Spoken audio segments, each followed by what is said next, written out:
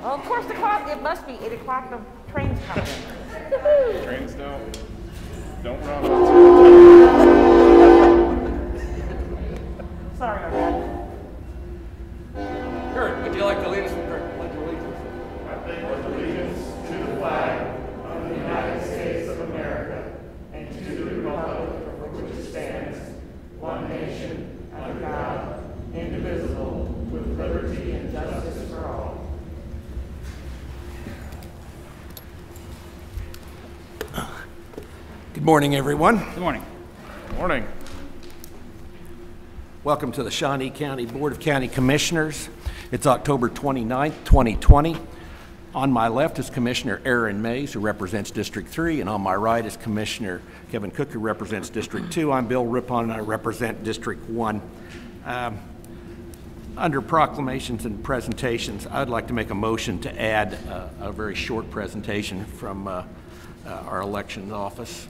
So that would be then I two, I. or one, I, I one. All right, well, yeah, let's make it I. Let's make it I one. He needs to get one, back. two? Yeah. One, and then change that one to two. Okay. Second. Hold it, are we putting it after the presentation with the long-term care or before? Before. Before. Before. Okay, No. So that will be one, long-term care will be two. okay, there we go. All right, uh, motion's been made by uh, Commissioner Riphahn, seconded by Commissioner Cook. All in favor say aye. Those opposed, motion carries three to zero. Okay, first item. Item one, proclamations, presentations, uh, presentation by Election Commissioner Andrew Howell. Good morning, Commissioners. Andrew Howell, Shawnee County Election Office. Um, Just wanted to give you a real quick update, and I apologize for jumping in front, but we've got a lot of voters coming through, so I want to get back over there. Um, Just a couple of quick reminders before I go into the stats of where we're at. Um, You know, we are open today and uh, Friday from 8 a.m. to 7 p.m. for people who would like to vote. We are not open on, we are not open on Saturday, so I kind of want to remind people that it's today and tomorrow, 8 a.m. to 7 p.m. We've tried to do those extended hours till 7 p.m. for people that want to come in the office uh, at 3420 Southwest Van Buren to vote. Your only time beyond that to do an early voting experience would be Monday from 8 a.m. till noon, and that is usually a, a fair warning, that's usually a long line. So if you get a chance today or tomorrow and you want to early vote, uh, stop by the office to do that. I wanted to just just briefly update you on, you know, we've changed up some things as to how we uh, help people get their ballots back. So I wanted to go over some of those stats with you briefly. Um, our early vote traffic in the office has been very high every day, been very high numbers. Um, in fact, yesterday was within 10, I think 10 voters of being all uh, just as high as the very first day. So we're seeing very high numbers. 14,299 voters have voted early in the office since it started um, a little over a week ago. Uh, and our total mail ballots uh, that we have sent out is currently 26,885. We've received 74% of those back at 20,012. Um, through the mail, we received 10,118. Uh, in the office, people dropping them inside the office, 2,842. Ballots received uh, at our drop point across from the election office is 5,976. And at the various locations across town, uh, 1,076. So I think, I think we're seeing big numbers. People really seem to appreciate the extra effort that we put into making it easy and safer for people to drop their ballots off. So happy to answer any questions, but I kind of wanted to update you on just the large numbers that we're seeing pretty much everywhere. And uh, just a reminder, like I said, on uh, voting today, tomorrow, which is Thursday and Friday, till 7 p.m. in the office, and then Monday from 8 to noon. For those that wonder why it closes at noon on Monday, the reason we close at noon on Monday is so that we can finish preparing the poll books uh, and updating the numbers of people who have already voted in those poll books and get those ready for handout to the election judges who will then need them for Tuesday morning at 7 a.m. So it takes several hours in that process of handing out those poll books and all the equipment and getting everybody ready on Monday takes us till about 7.30 or 8 p.m. So that's part of, uh, part of why voting ends by law at noon on Monday, as far as the early voting portion. If you have any questions, I'd be happy to try to answer those. Mr. Chairman. Question?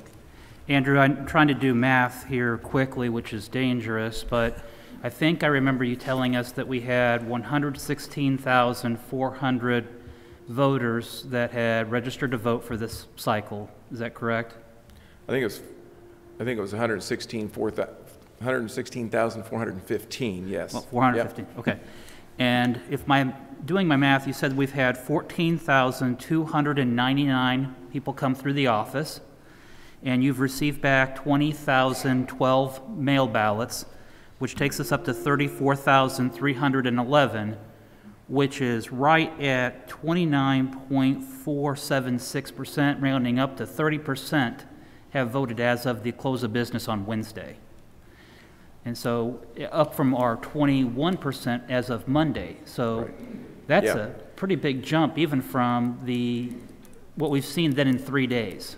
Yeah, absolutely. We're, uh, like I said, we're continuing to get people dropping those ballots. It's been very steady traffic at, at uh, a lot of our locations. The mail's pretty big every day, so it's probably a good thing that we've had the different options for people to drop and to stop and, and, uh, and to get those ballots to us. But yeah, it's been, it's been a lot of late, a lot of late nights and a lot of work going on, but we're seeing, I think, significant numbers of people actually having already voted, so hopefully that'll take a little bit of pressure off on election day, but I'm hearing people estimate as high as 90% in some parts of the state, so it may actually just look very much like what we're used to, even despite, you know, seeing record numbers internally. Do you know what the record is for voter turnout for Shawnee County as a history? I, I know that back 15 to 20 years ago, there were some pretty high numbers, so I'd have to dust those off a little bit. Um, I believe back in the 80s and early 90s, there were some pretty good numbers, so I'll, I'll dig through that and see if I can get that. Well, let's stay focused on the election. We can look at statistics later. But, you know, I think that it's important to note that we do have some high voter turnouts, and thank you for your office. Again, I'm having nothing but good words about the efficiency of the office, the effect, I mean, just how quickly it's moving, how friendly and courteous and it is. And so I want to thank you and your staff for everything they've been doing. Appreciate it. Thank you. Thank you. I know there's a lot of late hours there, so we appreciate it. Andrew, I, I have a quick question about the drop boxes. Um, have they made the process easier for your staff and, um, than, than what it would be if we were to get the mail every day for those ballots? I know there's, the volume is up, but I guess what I'm trying to ask is, is it, are the drop boxes gonna be a permanent fixture for the voting office, something you use for years to come? Yeah, I, I don't really know yet. I've kind of been holding off to try to figure that out. Um, it does take extra staff to kind of staff those and set them up uh, and, to, and to make sure they're around. Um, there, there will be a certain amount of additional budgeting cost that's not currently in our next year's budget, so we'd have to visit about that. Um, so we do have some federal funds that we can use to currently to fund that piece of it. Uh, it's a possibility. I just, I don't know that we've, we're kind of busy trying to hang on day by day at the moment. Haven't really thought too far ahead, but it's, but it's possible. Yeah, Thank you. All Thank right. you. Appreciate it. Thank you. Next. Um, Under, under number, item number one, proclamations, presentations, Shawnee County Long-Term Care Facility update. Morning, Commissioners. Derek Flerlog, Infectious Disease Division Manager, long title from the Health Department. Here to give you um, an overview or an update on our uh, long-term care situation here in Shawnee County. Uh, Just a little background on me. Uh, My previous job, I was the director, uh, or a director at a nursing home here in town, so I think I have a unique background, um, understanding of both the financial side um, and the clinical side of of care. Uh, So we'll get going. Um, just to give you a brief background on our facilities here in town, we have approximately 20. Uh, it's probably actually higher, and depending on what you consider that fits into the long-term care uh, category, because there's group homes and things like that that we are also uh, communicating with as well. So, but quite a few uh, for the Topeka community, and it does encompass many different settings, like I stated. Uh, the important thing to remember about these is that they are regulated by CMS and KDADS, which is the state agency. So those are uh, who does their infection surveys um, and, you know, can take action if, if need be. Most of the facilities uh, are referred to as skilled nursing facilities or SNFs. Um, they offer physical therapy, occupational speech, other services as well. And you know, when we think about nursing homes, especially historically, they've changed a lot over the last well, I don't know how many years. Uh, I'm not that old, so. uh, but they have changed quite a bit. So um, I think, you know, what we think is a nursing home probably isn't true in the modern world. Many patients, in fact, go from the hospitals, rehab, get stronger, and go back to where they, they were living. Um, now, some of the long term care facilities do have assisted living and, and independent living on their property, their campuses, and so some patients stay on there. It's called aging in place. Um, some of the different aspects I just wanted to mention real quick is some of the reimbursement measures. They are reimbursed mostly by Medicare and Medicaid. Uh, there are some uh, private insurances and managed care that do the same. It is a step down from the hospital, so when I mentioned they go from the hospital to these facilities to rehab um, or, or, to live. And there's also a high var variability among the facilities as well. So, uh, again, some of them only have that therapy aspect and long term care, some have assisted living, so on and so forth.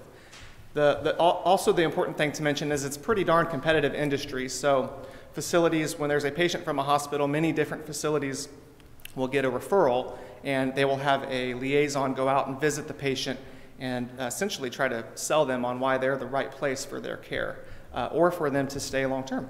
Uh, and they can be for profit or nonprofit.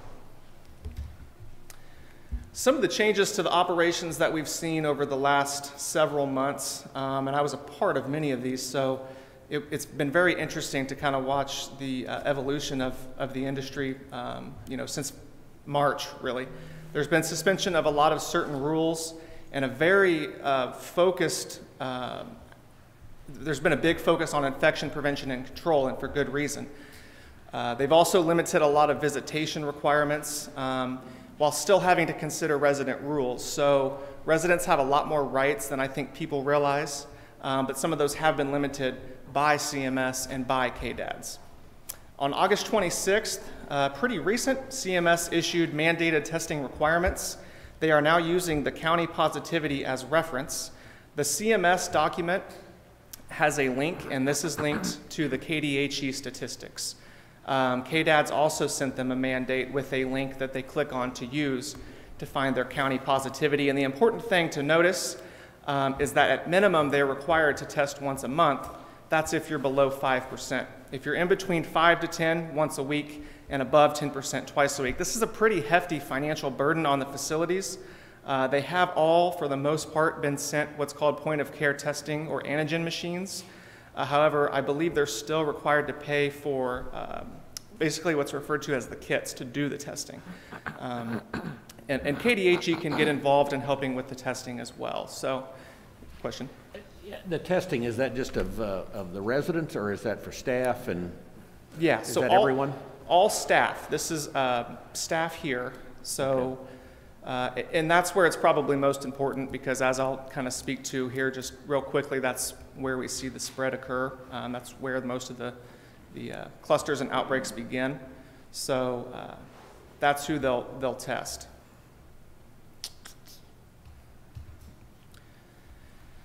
So since March, I went back and looked, we've had approximately 25 COVID-19 clusters in Shawnee County long-term care facilities.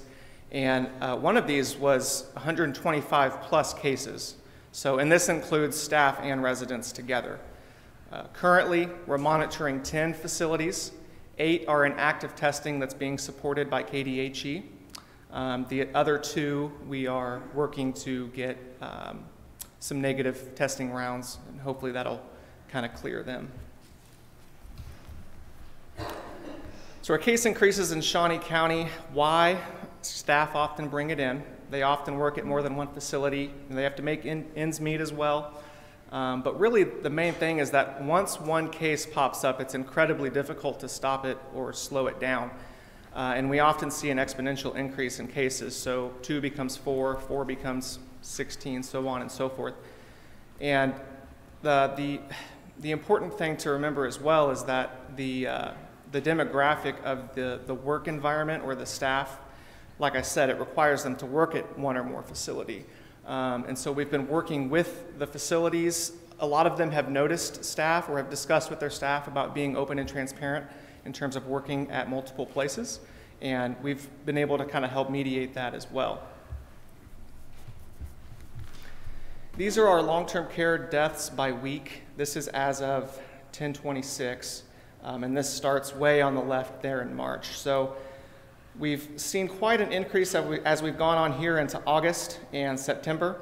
Um, we've worked really hard, our division has, to communicate back and forth with the long-term care facilities to report any uh, deaths that they, that they may have had. And we've had, we have really good relationships, relationships built with the facilities and their administrators and staff. What's interesting is that is if you compare this with our confirmed cases by date of diagnosis, you'll see that it pretty much follows our rise in cases in the community. And this is because community spread is the biggest indicator of nursing home spread. So we often say that nursing home spread is community spread or vice versa.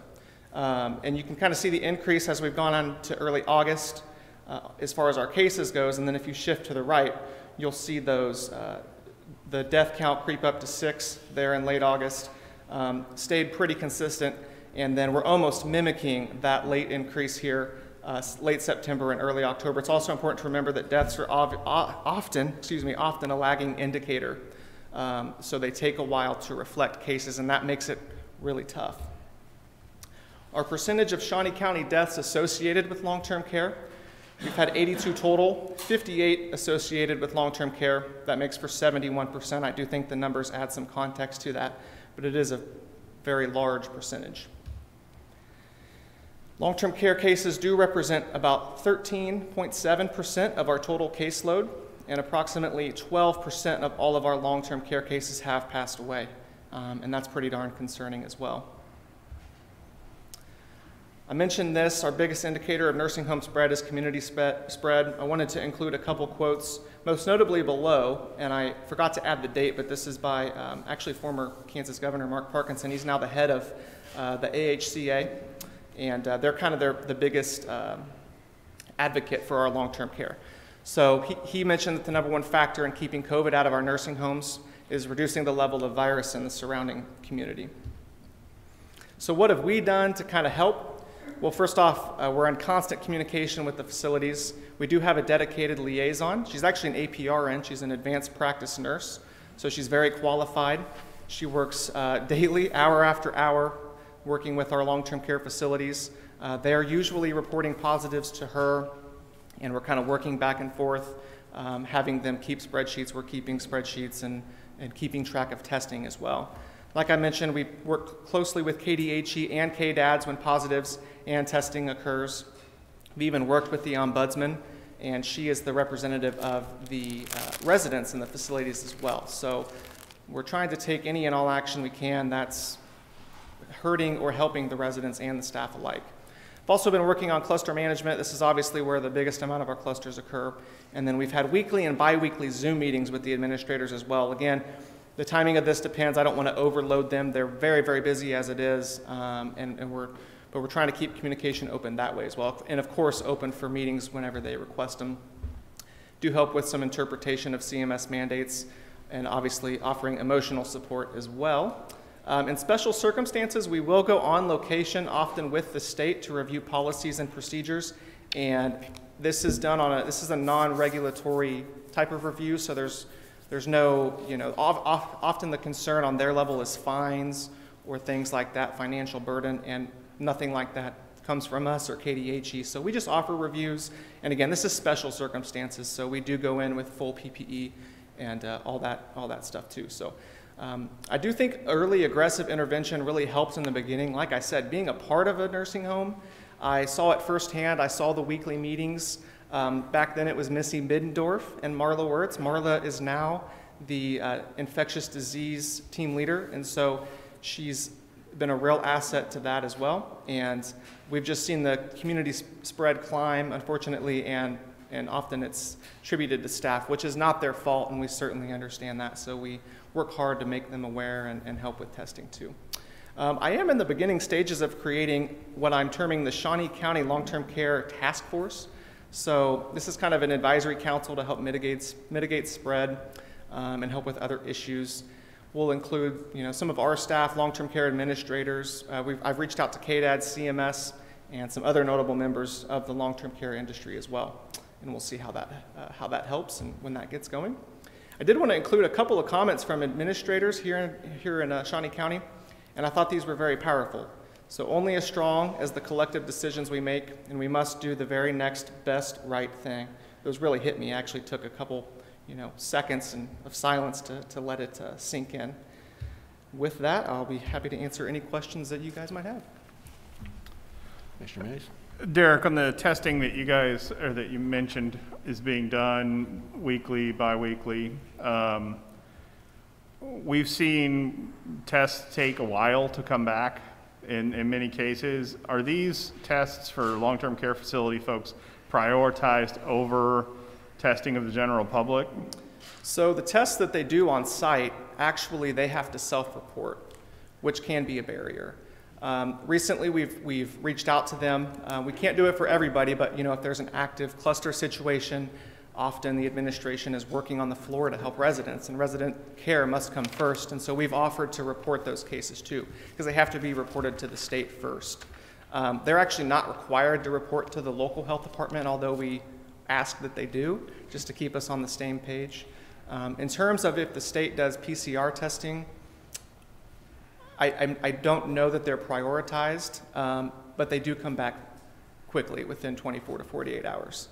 Um, and Robert Geist from KDHE has been working with them very, very closely on that. Okay, good, thank you. Would you say most of your patients that, that, that do die have comorbidity issues? Um, you know, I'd have to go back and look. I mean, I think over a third of all Americans have comorbidities. Um, you know, diabetes, um, anything can be a comorbidity. Obesity is huge as well. Um, it's pro- that's probably a fair statement to make. And obviously, they're older. They're older. Um, most are, you know, usually when we're talking long-term care, it's 60, 65 plus. Um, Medicare age, I guess you could say. So I think that would be a, a fair statement to make. When, we, we know that a lot of their, our transmissions coming from workers. Do we keep track of where, other locations that they work at, so we can see if there's hot spots? You know, say they're working in a factory somewhere, do we watch that, and, and if there's a hot spot then, can we Yes. then limit that person's, uh, exposure to the people in that nursing home then, or? Yeah, I don't, I don't know if I would say that, that we limit them. Um, you know, one of the interesting things that we've had happen lately here is a lot of high school aged young adults work at long-term care facilities. You know, they're CNAs or things like that. So, um, and if, you know, when you're doing routine testing, you know, we've seen some of that come up. And so when they're associated with another facility or another workplace, we can alert both. Um, and obviously, within the long term care community, we've been urging them to work together, try to be transparent with their employees. But as I understand it, their employees, uh, it's their right, if they wish to exercise that, to not be open about it. So um, I hope that answers your question. All right. Mr. Chairman? Yes. What things can the county commission do or give to you to help you do your job better? To be honest, um, you know, just mitigate community spread, and I know that that's very difficult to do. Um, I think everything that I've put up here today is it's kind of jarring when you step back and look at it, um, and especially when you look nationwide too. I mean, we've all heard about the other facilities, and um, well, here in Kansas and in other states as well, especially early on. Um, I do believe that we're doing a good job. I think our st- we're very focused on long-term care. That's our because obviously, as you've seen, 71% of our, our deaths have occurred there. Um, you know, we're, we're doing this, we're, we're urging the same things. Wear your masks, wash your hands. In terms of uh, long-term care employees, we're, we're working on fit testing employees at all of the uh, facilities. We've had a few requests to that, and we've, we have the new PortaCounts, and so we're working on that as well. Um, and I think just keeping those mitigation strategies um, in place so that we can um, help assist the communities and, and keep their staff healthy so that we can keep their uh, residents healthy as well. As you continue to do your job and work with the facilities, if there are things that you see that would help mitigate um, the spread, please do communicate back with us and communicate with our team. Um, I think that it's one of those all eyes and all hands on deck. Yeah, and I, I will mention that we, we get communication from the governor's office and from KDADS on different mandates that they might have. So CMS has their mandates, and that's kind of the minimal standard. But the state um, is welcome to do, you know, higher mandates or, or, or more powerful mitigation strategies as well. So anytime that comes through my inbox or I'm aware of something, I'm sending it off to our, we have an email group of all of our administrators, and we're in constant communication back and forth with all of that stuff. But I will, I will definitely keep you all uh, in the loop. One, one last question. Uh, Do we have like a four-month plan of what we're going to do and, and how we're going to try to limit? Nothing in place, but I think this task force um, will be good for that. And I've had quite a few uh, administrators and DONs and even KDAD's representatives reach out and say, yeah, we would absolutely love to be part of that. And um, I think we could absolutely come up with, with something kind of outlining the future and, and what's ahead. Of course, it'll be kind of hard and difficult to know what the federal government and state governments are going to do in terms of long-term care, but we can certainly come up with something. Thank you. Thank you. Very much.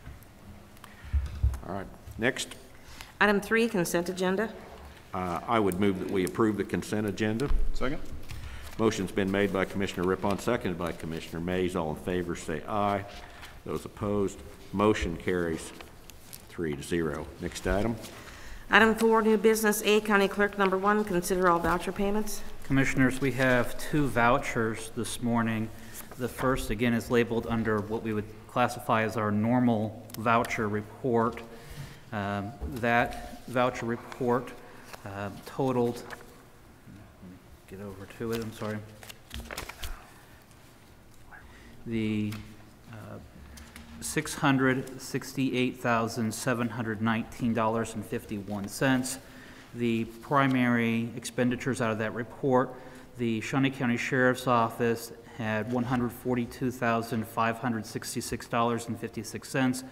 That was for four, four 2020 Dodge Durangos primarily. Additionally, under holding accounts with the state of Kansas, we had $101,268.46. And then under allocations, we had $24,750. And that went to the East Topeka Center, or Council on Aging and Harvesters. And I do not have any question regarding that voucher report. Under our CARES Act Relief Fund voucher report, we had one million, one hundred seventy-four thousand, five hundred twenty-nine dollars and twenty-one cents. That was made up from community-based programs of East Topeka Council on Aging, SENT, Sheltered Living Incorporated, and Topeka Housing Authority, municipalities and cities, which was the city of Topeka, and schools, the Cair Paravel, Heritage Christian, Shawnee Heights, and the St. Matthew's Catholic School. And I do not have any questions regarding either voucher report. You said the CARES relief was one million, I, I have six hundred sixty-eight It- It's, it's, it's actually the opposite. CARES, that totals up to one million, one hundred seventy-four thousand, five twenty-nine and twenty cents. Our normal voucher report was six hundred sixty-eight thousand, seven hundred nineteen dollars and fifty-one cents. Okay. All right, But I would move for approval of those two voucher reports. I'll second. Uh, Motion's been made by Commissioner Cook, seconded by Commissioner Riphahn. All in favor, say aye. Those opposed, motion carries three zero. Next item. There are no, there are no correction orders today. Uh, Item B, Public Works, number one, consider approval uh, to issue a re- request for qualifications for the on-call right-of-way appra- appraisal and acquisition services for various road, sewer, and bridge projects for calendar year 2021, with option of extending the agreement through December 31, 2023. Good morning, Commissioners. Kurt Niehaus, Director of Public Works. Uh, Our existing contract expires at the end of this year, so I'm before you requesting approval to solicit proposals for calendar year 21, 22, and 23. And as the county clerk said, the final two years would be somewhat optional, provided both parties wish to continue with the contract. Questions? I do not, I'll move for approval. Second. Motion's been made by Commissioner Cook, seconded by Commissioner Riphahn. All in favor, say aye. Those opposed, motion carries 3-0. Next item. Item B2, consider authorization and execution of contract C434-2020, change order number one, final to contract C106-2020 for the Southeast 69th Street Bridge over tri- tributary to Lynn Creek project with Reese Construction Company, Inc., reflecting an as-bid versus as-construction uh, quantities, which result, resulted in a $3,144.46 decrease to the original contract amount of $514,676.61 for a final contract amount of $511, $500 $511,532.15. Kurt Niehaus, Director of Public Works. Uh, I think it was two weeks ago today, we had substantial completion on our project uh, Southeast 69th over Lynn Creek, um, over a tributary to Lynn Creek. And today I'm before you with the final change order. Again, really what it represents is as-bid quantities versus as-construction quantities. Uh, Unit costs stay the same, uh, and it resulted in the, the reduction that the county clerk uh, talked about. It uh, results in a total project cost, including all design costs, all construction costs, right-of-way, utility, contingencies. Well, now we have zero contingencies, but it results in a total project cost of $615,000, which is $15,000 with uh, what we had come before you approximately 18 months ago. So with that, take your questions. Any questions? I'd move for approval. Second. Motion's been made by Commissioner Riphahn, seconded by Commissioner Mays. All in favor say aye. Those opposed, motion carries three zero. Thank you. Commissioners. Next item.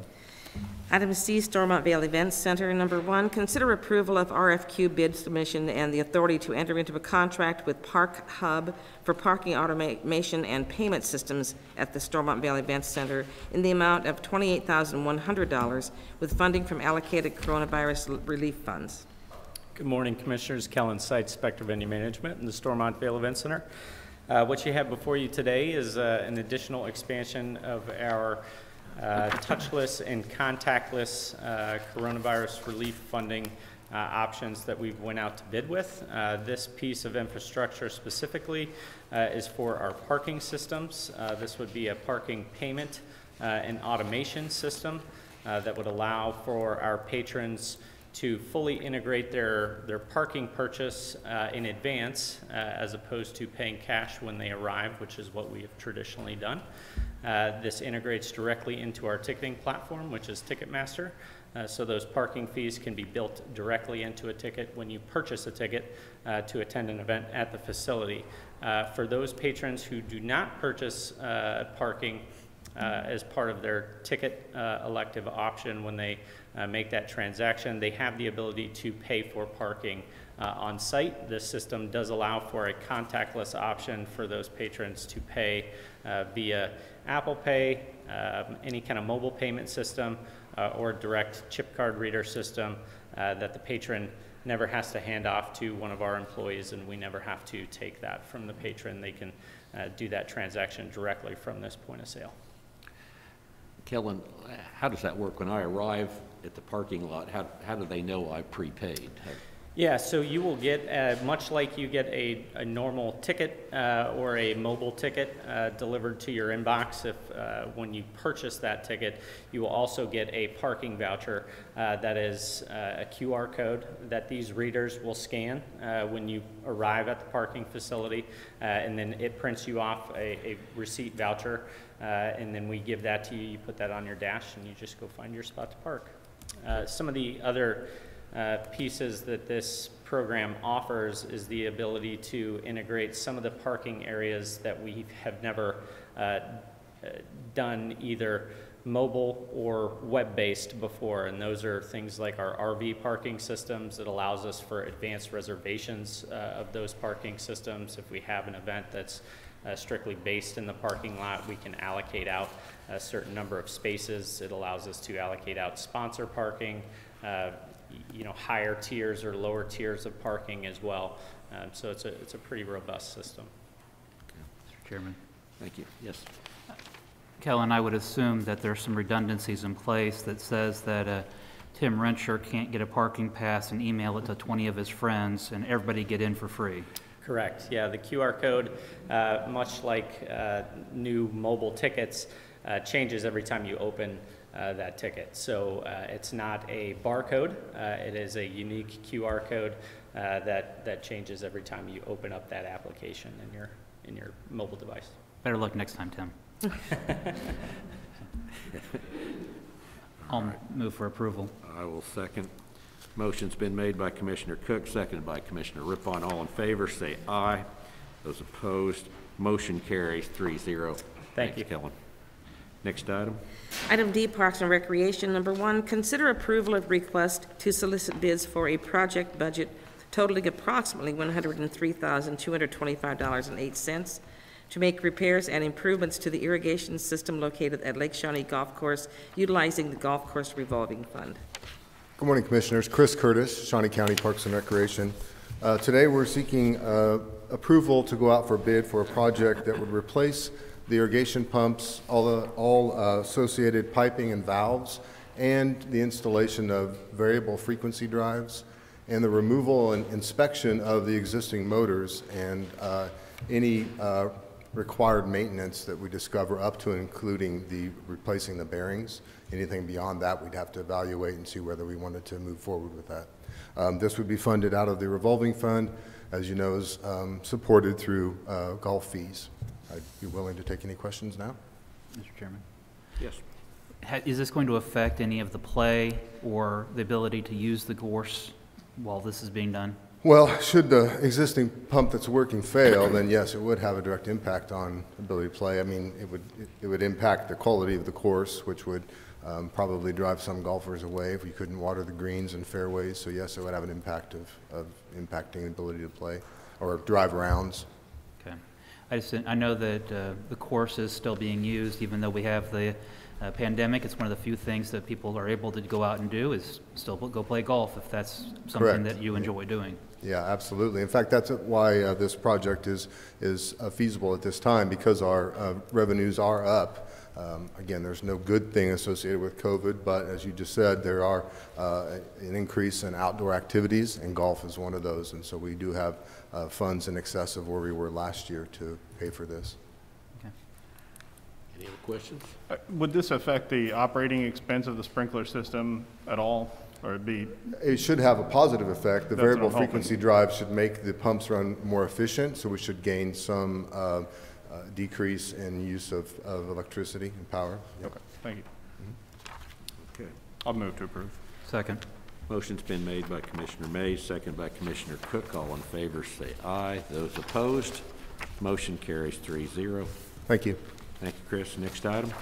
Item D2, consider approval of request to solicit bids for renovations to the Blaisdell Pool Locker Room roof with an estimated cost of $30,356.50, utilizing 2020 operating funds. Good morning, Commissioners. John Boyd, Parks and Recreation. We are seeking approval to get the roof replaced on the locker room and and concession stand area of Blaisdell Pool. Uh, It's a membrane unit, been down quite a few years. It's starting to produce a lot of leaks and showing a lot of wear. So we'd like to be able to get that replaced before we open in the spring. Be happy to answer any questions. Is, so this is just the locker room, not the concession area or anything like that? Well, yeah, those Is it buildings there, Kind of, not- the- just the whole thing, though? Not the rental building and the pump house, that's a metal roof, but this is a membrane, membrane roof on the flat area of the building. Okay. Yeah, this was, uh, this was part of the old Blaisdell Pool, this building, and, and I know at the time, that was, it was 20 years ago when we Was it 20? renovated that. And uh, so, yeah, it's probably about time. Um, Any other questions? Uh, Oh, Mr. Chairman, Just yeah. the timeline for the construction, when you anticipate getting started, having it completed by? Uh, We hope to be able to get it done this winter. It's always wea- weather dependent, but I've had conversations with the roofing contractors in town, and, and they're saying they're able to work all winter as long as there's not snow cover. So, by spring. Okay. I'll move for approval. Second? Motion's been made by Commissioner Riphahn, seconded by Commissioner Mays. All in favor, say aye. Those opposed, motion carries three zero. Next item. Thank you. Item D3, consider approval of request to spread, uh, to award the uh, bid to Ace Electric for the re- replacement of a light pole and fixtures at Dornwood Park in the amount of $12,145 with funding from the Capital Maintenance 3R Fund and authorization and execution of contract C 436-2020 for same. Good morning, Commissioners. Randy Luby, Parks and Recreation. If you recall, uh, last March, we were down here. Um, You gave us approval to uh, go out for bid for this project. During that time, a severe storm came through and actually blew the pole over. Um, We met with the um, Topeka Baseball and Softball Association, and um, they we came to a decision to go ahead and wait to send out the RFP until the season was over. This field wasn't going to be used. Um, the numbers were down slightly with COVID, so we uh, waited until September to go out. And um, today, before you, we'd like to accept uh, Ace Electric to replace the pole and um, get the job done. Is this one of the light poles, or is this just Yes. a? We noticed it was in need of repair, and that's why we came in uh, March, but uh, that storm came through, and luckily it came through at night, and nobody was hurt and didn't cause any damage um, at the time, so, Are we, thr- oh, Oh, go ahead. are we through with play out there at this time? yes, Okay. yes. All right. And Did we pursue any kind of an insurance claim since it was weather-related? Um, I don't believe we did, Uh, if I recall, and uh, Cindy would know better, but I believe it's a $10,000 deductible, um, so it wouldn't be a whole lot to do with that. Well, $2,000 is still $2,000. We, we could, um, I didn't know if, well, the, the pole was damaged to begin with, um, so we were looking to replace it. I, I can sure look into the insurance. Don't, don't say so much, because I listen to these show, these. these. No, I'm just kidding. We, we don't, I mean, we, we'll, we'll gladly present a, our claim to the, to the insurance company, no problem. All right. I'll move for approval, but I would ask that the department look at all possible options, including any insurance policies. I'll second. Motion's been made by Commissioner Cook, seconded by Commissioner Riphahn. All in favor, say aye. Those opposed, motion carries three zero. Thank you, Commissioner. Thank you, Randy. Next item. Item E, Sheriff's Office, number one, consider authorization and execution of contract C-437-2020 with Priority Dispatch for software that allows dispatchers to obtain necessary COVID-19 related information for all responders, including a call script for calls taken in the Communications Center for a total cost of three hundred twenty-five thousand, one hundred five dollars to be paid from CARES Act monies. Good morning, Commissioners. Melanie Berger, Shawnee County Sheriff's Office Communications Division. Today, we're requesting approval to purchase Priority Dispatch utilizing the CARES Act monies. This is a scripted call-taking software that um, our dispatchers would ask the questions, and it would um, essentially dump into our uh, computer-aided dispatch. We would be able to ask COVID-related questions and be in line with the CDC guidelines and the Shawnee County Health Department. And as those guidelines change, we would be able to change our questions. Um, That way, we can provide information to our responders. uh, That way, they're aware, should they come in contact with anybody that um, could be uh, COVID. This all, the system also allows for a decrease in response to assist in social distancing for our responders and to assist in mitigating the spread. For example, getting the right people to the right place, uh, maybe not sending so many officers, uh, instead maybe just one, um, same with the fire and the EMS side. Should we lose several staff due to COVID um, sickness or self-isolation, this provides tools for less experienced dispatchers to augment some of the workload and take those calls um, because that script would be right in front of them um, if they haven't completed their training yet. All of the necessary paperwork and contracts have been through the county counselor's office. The cost of this is $325,000, $325,105. It has been approved by the Spark Committee as an eligible purchase with CARES Act, and um, it will be in place and in use by the deadline of December 30th. Are there any questions? Is, is that uh, timeline in there in our agreement with them? Because this is critical that we, Yes. um, Okay. We have required that that, de- that deadline be in um, the contract, and um, Jim's office was able to confirm it. thank you, Jim. Mr. Chairman? Yes. I would, thank you, Melanie. This is the presentation that we saw um, a couple of weeks ago, and the- I think that it's going to add a lot of robust um, offers and features to our already dispatch. Um, I know that the uh, chief of the Topeka Fire Department is here, and I know that they've spoken in favor of it in the past, and this is something that will help um, fire, ambulance, um, rural fire, Topeka Police Department, and Sheriff's Office, and so really coordinating all the branches. So, thank you for bringing this forward. I'll move for approval. I'll second. Motion's been made by Commissioner Cook, seconded by Commissioner Riphahn. All in favor, say aye. Those opposed, motion carries. Thank you, Melanie. Thank you. Next item. Item E2, consider authorization and execution of contract C438-2020 with New World for the interface necessary to link Priority Dispatch as the uh, current New World computer-aided dispatch for a cost of $13,320 to be paid with CARES Act monies. Good morning, Commissioners. Melanie Berger, Shawnee County Sheriff's Office Communications Division.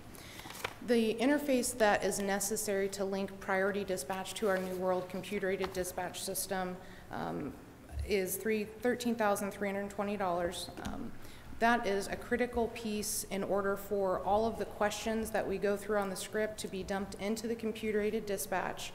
And that is how we, that's the system, which is our means for dispatching all calls for service. It is used also by all of the partners um, that we work with and dispatch for. It also ensures that we would get appropriate alerts on any houses or individuals that have um, any COVID-related issues that we do receive from the Shawnee County Health Department, and um, it is critical for the project to work. All those contracts as well have been put through the county counselor's office, and the Spark Committee has identified it as a- an eligible cost. Um, And the deadline also would be met by December 30th. It would be in place. Any questions? No, I'll move to approve. I'll second. Motion's been made by Commissioner May, second by Commissioner Riphahn. All in favor, say aye. Those opposed, motion carries three zero. Next item. Item E3, consider authorization and execution of contract C439-2020 with NICE for the inter- uh, interface necessary to link Priority Dispatch Aqua Suite to the current operational system in order to pull up information for open records, open records requests, and uh, court subpoenas for a cost of $6,793 to be paid with CARES Act monies. Melanie Berger, Shawnee County Sheriff's Office Communications Division. Our NICE Inform Recorder is our means of pulling all recordings um, to comply with our statutory obligations for open records um, and retaining any history in a communications center. This is another critical piece for the Priority Dispatch um, project that the NICE Inform Recorder be interfaced with the Aqua Suite.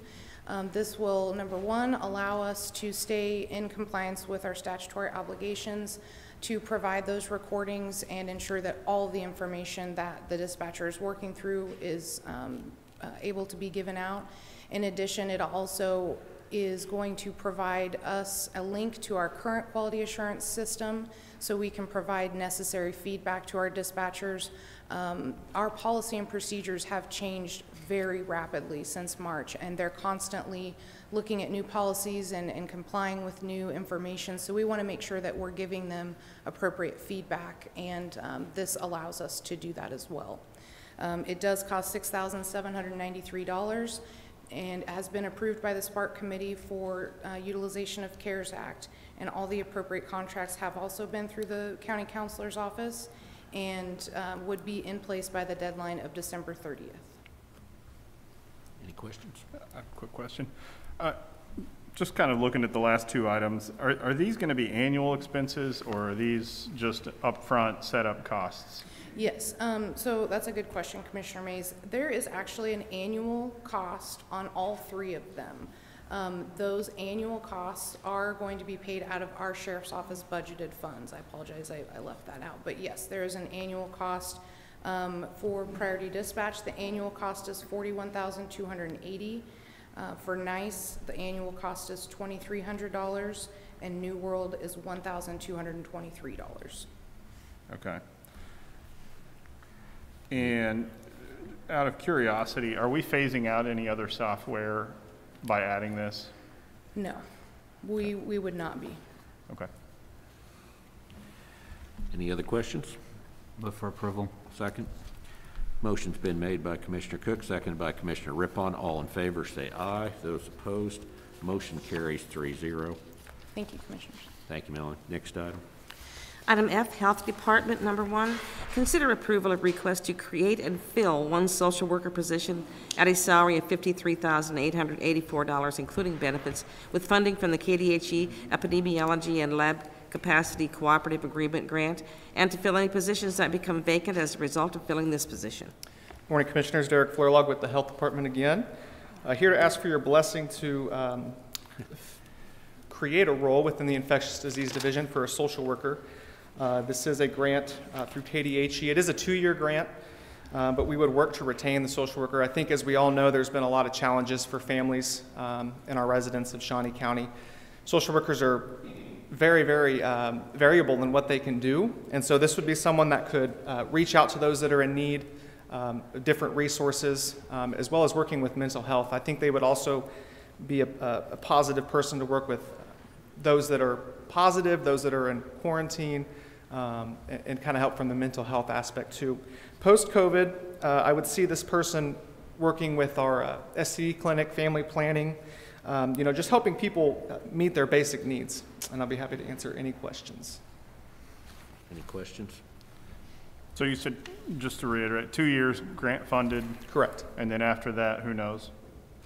Yeah, we would work, yeah, for lack of a better term, yes, but we would Yeah. work to, uh, to retain them. And I will add that, uh, like I said, social workers can do a lot of different things. They're very, very qualified. This is a bachelor's level social worker, so that gives us um, a bigger pool to choose from. And uh, I do personally know quite a few that work at the hospitals and nursing homes too, so we'll work on that end as well. Great. Are, are you seeing uh, an increase in family, I guess, issues with kids? Yeah, that's something actually I wanted to mention. Uh, we are getting an increase of questions of those. Um, the most notable one is probably people asking for places to stay, housing needs. And so this would be a perfect liaison for that to reach out for their mental health, help them find a place. I know we're working on some other things concerning that as well. Um, and then we also have families that reach out. Obviously, if you're in isolation, um, we have those that need, you know, certain grocery needs or uh, prescriptions that need picked up, that sort of stuff. We could potentially uh, have our social worker work with as well. All right. Any other questions, comments? I'll move for approval. I'll second. Motion's been made by Commissioner Cook, seconded by Commissioner Mays. All in favor, say aye. Those opposed, motion carries three zero. Thank you. Thanks, Chris. Next item. Item G, Administrative Services, number one, consider approval of resolution number 2020-57, allocating the 2021 social service funds, service programs for the elderly funds, and special alcohol drug uh, program funds. Good morning, Betty Griner, Director of Administrative Services. This resolution would approve three allocations for 2021. The allocations for social service agencies, for service programs for the elderly, and for special um, alcohol and drug programs. The first one, social service agencies, as you will recall, um, for the 2021 budget, 190,000 was budgeted for this item. Uh, Community Resource Council um, performs a service for Shawnee County for taking, uh, gathering a board. They take the applications for these, they um, gather the board together, and that board hears and evaluates the applications and then makes a recommendation to the commission on how to allocate those funds. That uh, total was 190,000. This would allocate that to the ones that are listed. The next one is service programs for the elderly. That uh, budget item was $669,623 that was allocated to this. CRC does a similar, uh, performs a similar duty for us on this one. It is a different board that gets together and evaluates these service programs, and then they make a recommendation. This is their recommendation that totals the $669,623. Mary Thomas is here from uh, CRC if you have any questions on those programs. Then the last one is Special Alcohol Drug Program. This is not a budget item, but this is an item that we received from the state. Uh, The, uh, they have a special council that meets and makes their recommendations. Uh, The last two years, this has been right around $45,000. Now, this one we allocate based on a percentage rather than on a dollar amount. Because it's not a, a budgeted allocation, it's just whatever we receive in from the state. If we do it on a percentage basis, that way everything that comes in can turn around and go out to these organizations uh, based on um, the recommendation of the council. Um, Rochelle Vegas, Ve- I'm sorry, let me say this again. Rochelle Vega Ratana is here to answer any questions that you have on this allocation. So, would you like to? Mr. Chairman. Do you have any questions? Um, Betty, just, I think that, just for clarification, it's my understanding that the special alcohol drug programs, there is a tax that is collected on alcohol sales within Shawnee County, and a portion of that tax that's collected goes towards alcohol-related programs. Yes, that's correct. And so that's where we would have the funding for PARS, and thank you for the work that they do, as well as the Third Judicial District Drug Court. I see Amanda is here from that, and then also Valeo with their um, behavioral health care social detox program. And so, um, but just to kind of clarify where that tax is coming from, it is from alcohol sales in Shawnee County. Any other questions? I'll- I'll move for approval. I'll second, but I do want to take a moment and thank uh, the CRC and the boards that they serve and the work that Mary Thomas does with those two different boards, the Social Service Agency and the Program for the Elderly. The boards put a lot of time and effort into reviewing all the applications, and uh, Mary Thomas for coordinating the boards and CRC's work, so I second that motion. Okay, thank you very much. Uh, Motion's been made by Commissioner Riphahn, seconded by Commissioner Cook. All in favor, say aye. Those opposed, motion carries. Thank you, Betty. Thank you. Next item. Item H, County Counselor, number one, consider approval of request to fill a vacant paralegal legal assistant position at a salary of $56,281.04, including benefits with funding from the department budget. Good morning, Commissioners. Jim Kraus, Shawnee County Counselor. I have an open position in my office. If this request is approved, we'll begin advertising and recruiting for the position. At this point in time, I'm not seeking a change in the current duties and responsibilities or the salary range for the position. I'll be happy to answer any additional questions you might have. I'll move for approval. Second? Motion's been made by Commissioner Riphahn, seconded by Commissioner Mays. All in favor, say aye. Those opposed, motion carries 3-0. Next item. Thank you. Item I, Commission, consider canceling the Monday, November 16th Commission meeting. The Commissioners will be meeting as the Board of Canvassers at the election office. I'll move for approval. Second. Uh, Motion made by Commissioner Riphahn, seconded by Commissioner Cook. All in favor, say aye. Those opposed, motion carries three zero. Next item. Item five, Administrative Communications. At this time, anybody can, uh, let's see, we have Dr. Pezzino. Good morning, Commissioners. Gianfranco Pezzino, Shawnee County Health Officer. It's with um, very mixed feelings that, based on personal reasons, I have decided to not renew my contract as Shawnee County Health Officer when it expires at the end of 2020. Being part of the incredible group of leaders who have guided Shawnee County through what has been arguably the most difficult public health challenge in modern history has been my highest honor. Shawnee County is lucky to have dedicated, skilled workers who I'm certain will continue to work incessantly to protect the health of every resident in Shawnee County, as they have done for months, quietly, sometimes with little recognition or- or gratitude. I want to thank this board and the community for giving me the opportunity to serve. Together, we will move past this difficult time and emerge stronger than before. Thank you. Thank you. Doctor, uh, Mr. Chairman? Yes. Doctor, I'd just like to take a moment and while I, I hate to see you leave the position, um, I want to take a moment and thank you for the work that you've done, not just during the pandemic, but before it. The work that you did with the Community Health Improvement Plan, uh, addressing the um, death rates of African American children within our community, issues of obesity, mental health, um, equi- inequities in health care, bringing those to the forefront so that we can address those as the Board of Health.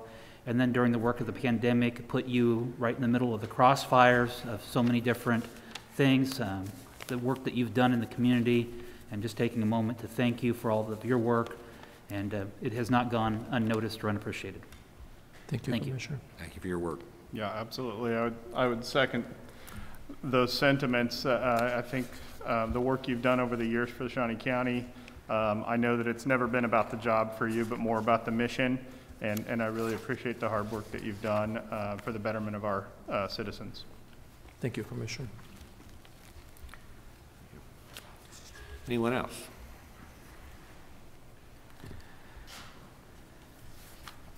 Good morning, Commissioners. Linda Ochs from the Health Department. And I, I too want to publicly thank Dr. Pezzino. It's been a pleasure, uh, an honor to work with him these past few years. I've worked with Dr. Pezzino for a long time. And as you said, Commissioner Cook, we've been working with the community health outcomes and community health rankings and all the work he put into that before the pandemic ever hit. So I just appreciate him so much. It's going to be hard shoes to fill.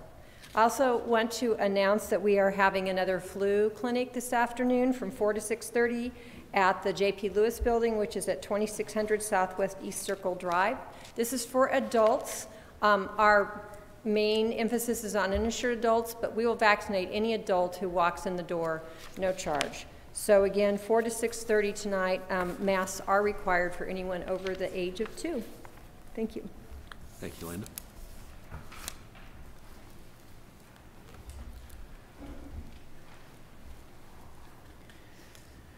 Commissioners, good morning. Mary Thomas, Community Resources Council. Thanks for those kind words. We appreciate the partnership and work that we've done with you for many years. And I'm here to announce that in our continuing partnership with 501, we have reached an agreement where they would like us to replicate the program that we have at the Avondale East, former Avondale East Elementary School. We will be opening the Lundgren Elementary School, open to social service programs and charitable organizations with services directly to the public right there in Oakland neighborhood so that we can bring the same sort of services that we have at Highcrest West to helping that neighborhood, stabilizing crime and uh, improving health and prosperity in that community. We want to bring that to Oakland as well. So if somebody's got a program they need to grow and we've got the space, come see me. Thank you. That's fantastic. Thank you, Mary.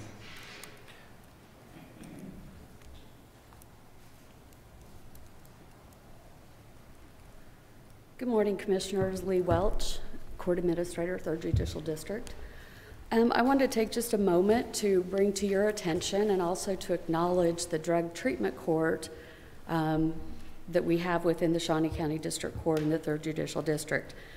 Um, Jason King, who's an attorney with um, the Public Defender's Office, had nominated um, our Drug Treatment Court to be the recipient of the Liberty Bell Award through the Topeka Bar Association. Um, our treatment court was actually awarded or will be awarded this um, award on Friday, November 6th at noon. Um, due to COVID, it will be held uh, virtually via Zoom, and if you're interested, I can provide you with that Zoom uh, meeting ID. Um, but if you'll uh, allow me to read uh, just a bit from the American Bar Association on what the Liberty Award is, Liberty Bell Award is. It was established more than 40 years ago to acknowledge outstanding community service. Many groups present it to someone who has promoted better understanding of the rule of law, encouraged greater respect for law and the courts, stimulated a sense of civic responsibility, or contributed to good government in the community. It is often presented to an individual attorney or judge or to an entire community organization.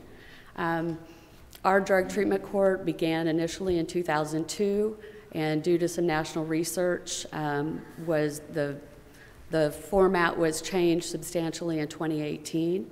Um, Amanda Wilson is here with me today. She's the coordinator for our drug treatment court, and Judge Bill Ossmann is the judge who oversees that um, program.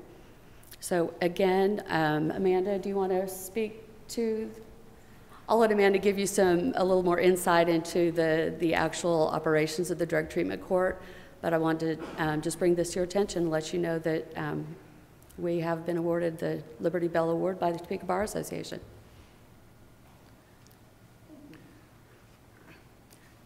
I guess just to briefly summarize, uh, the Shawnee County Drug Treatment Court is now a post-conviction, pre-sentence program um, for offenders charged with a drug or drug-related felony and are looking at a presumptive prison sentence. The program's a minimum of a year in length, and if they successfully complete, we have a big graduation ceremony and everything like that, excuse me, um, but they also get the chance to um, avoid that prison sentence. Um, and we think this has been uh, a population in our community that has been important to work with. Um, and we truly appreciate the support we receive um, every year from the county commission. If you have any questions, I'm happy to answer Very good. those. That's a, it's an honor to get this, uh, uh, get this award, and it speaks highly of, uh, of your program and, and your staff, so. Thank you. Thank you very much. yeah, Thank you, Amanda, for everything that you do in the program and the drug court and working with everybody, and so, congratulations. Thank you Yeah, very much. We're very flattered and humbled. Thank you. Thank you. Anyone else? Commissioner Mays? Uh, again, just want to remind everyone that time's running out to do your early voting. Um, Just to reiterate what Commissioner Howell said earlier, that uh, we've got really two and a half days left. So uh, if you, if you're planning on voting um, ahead of time, go ahead and do it as soon as possible. Very good. Commissioner Cook? I would echo those same sentiments, and uh, um, I would also note that there's an item on Monday's agenda regarding a request by Solid Waste through the Planning Department, and I know that we've had quite a bit of impact and, and emails regarding that, and I would encourage the public to attend that meeting so that we can discuss that item, and making sure that our media partners reach out and letting the public know this is a public meeting here at the Great Overland Station um, regarding the request by Waste Management at the Rolling Hills Meadows facility. Okay. I have nothing to add. We do not have a need for executive session, so we are adjourned.